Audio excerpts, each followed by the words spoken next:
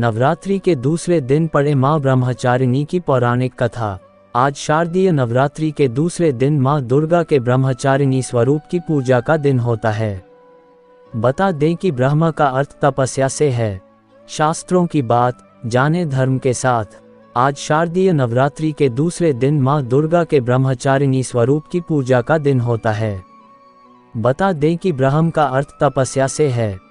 माँ का ये रूप अपने भक्तों और सिद्धों को अनंत फल देने वाला है।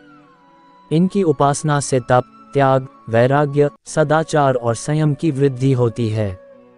शास्त्रों में ब्रह्मचारिणी का अर्थ तप की चारिणी यानी तप का आचरण करने वाली बताया गया है। देवी का ये रूप पूर्ण ज्योतिर्मय और अत्यंत भव्य है। इस देवी के दाएँ हाथ में जप की माला है और बाएँ हाथ में ये कमंडल धारण किए हैं।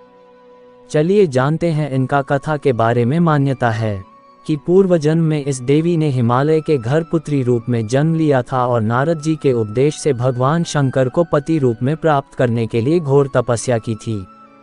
इस कठिन तपस्या के कारण इन्हें तपश्चारिणी अर्थात ब्रह्मचारिणी नाम से अभिहित किया गया। एक हज़ार वर्ष तक इन्होंने केवल फल फूल खाकर बिताए और सौ वर्षों तक केवल ज़मीन पर रहकर शाक पर निर्वाह किया।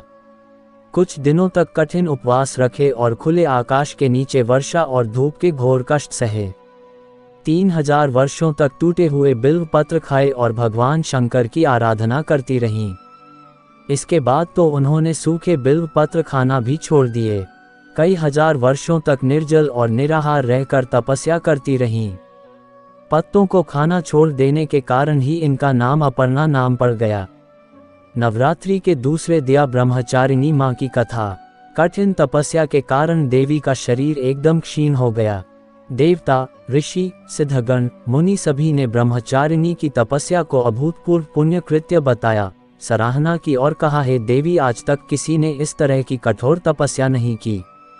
ये तुम ही से ही संभव थी।